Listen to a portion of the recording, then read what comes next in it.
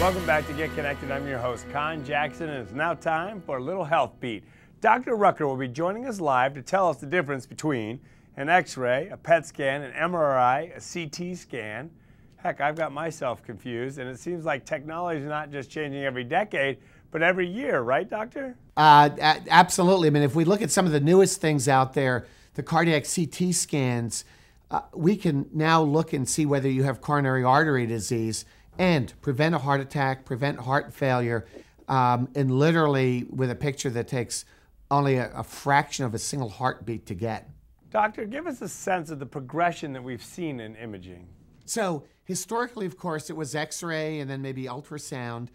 Uh, so the two-dimensional, you know, that sort of picture that you know everybody has, you know, uh, you know, in their mind.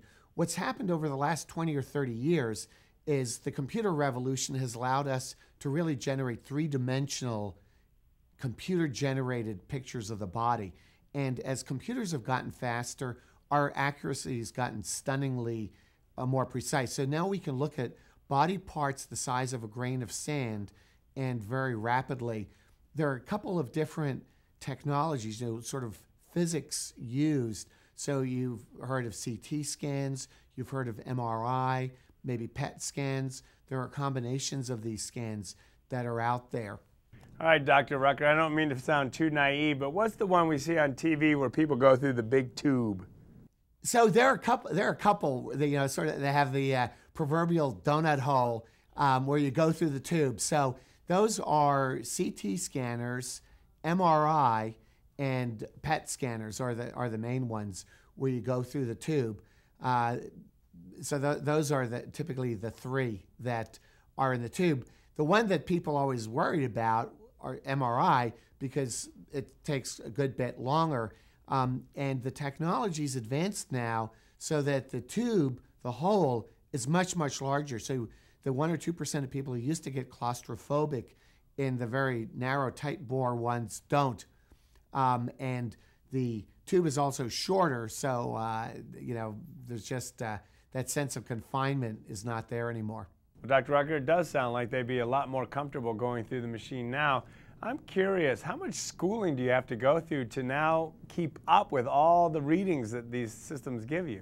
So everybody after med school does a residency. I've I've been involved more in the ordering of the imaging, using them as emergency department doc. If you're a radiologist, that is who reads the images for us. okay. That would be a uh, a four year residency, and then typically uh, a year or two of fellowship afterwards.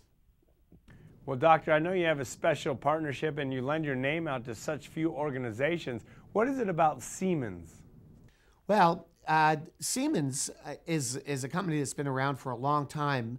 Um, it was a company that actually provided the very first X-ray tube uh, to uh, kind of you know to William Conrad Röntgen back in the 1890s. Uh, so uh, Siemens has been in the imaging business for a long time. In the last two three decades, of course, this has really become a triumph of computer science and technology to get these breathtaking uh, p- three-dimensional images. I'm glad the doctor was here to bring some clarity to the imaging area. And uh, it seems like technology is definitely on our side. If you want to learn more Health Beat segments, you can log on to our Get Connected website at conntv.com. We got plenty more on the show because we love keeping you in the know.